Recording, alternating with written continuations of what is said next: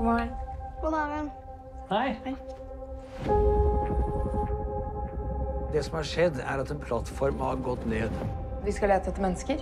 Det er helt riktig.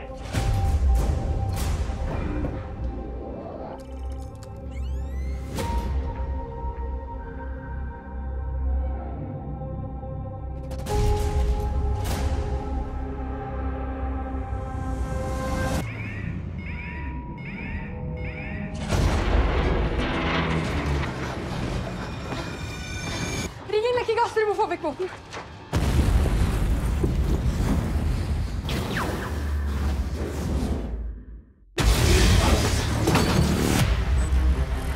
Ja, det har altså vært en dramatisk utvikling de siste to dagene.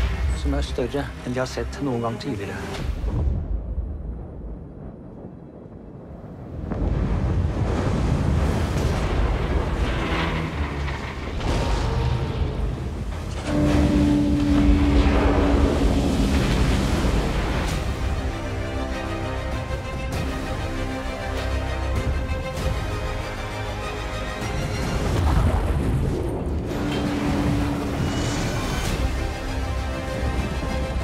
Har det skjedd noe med pappa?